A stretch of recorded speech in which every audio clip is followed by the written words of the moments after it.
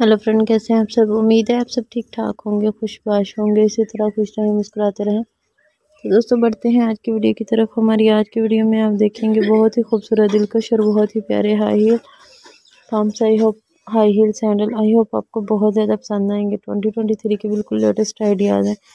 Twenty twenty three में आप किस तरह के हाई हील सैंडल खरीद सकते हैं, ये आप हमारी इस वीडियो से बहुत ही यूनिक किस्म के आइडियाज़ ले सकते हैं।